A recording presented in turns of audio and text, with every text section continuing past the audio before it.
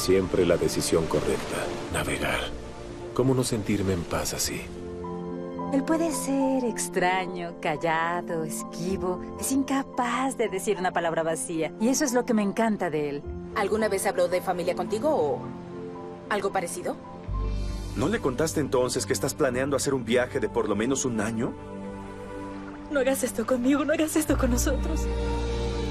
Ese asunto del compromiso no es para mí. Yo destruí a mi familia. Mi madre murió. Fue ese día cuando comencé a transformarme en lo que soy. Ligia, no fue de ti de quien huyó, no. Fue del mismo. No lo van a creer, pero estoy embarazada. Qué extraño. No tiene sentido.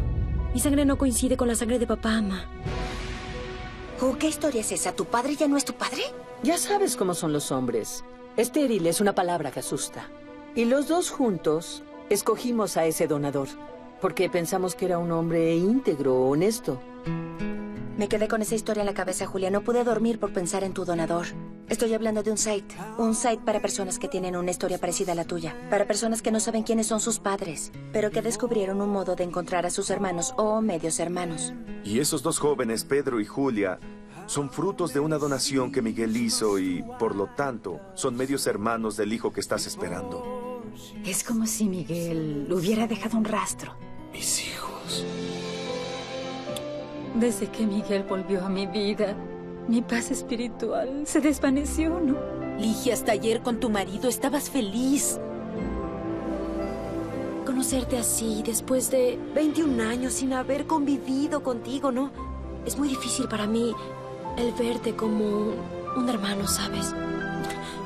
Por Dios, me tengo que ir. Por Dios santo. No, espera, Julia. Pedro, esto no debió suceder, ¿te das cuenta? ¿Y si Miguel tuviera oportunidad de conocer a esos chicos, sabes? De convivir con ellos. Soy Miguel Sánchez, el donador 251. ¿Tú qué eres de mí? ¡Dime! Yo nunca planeé ser padre. Ah, con relación a eso, quédate tranquilo, porque no lo eres ni nunca lo serás.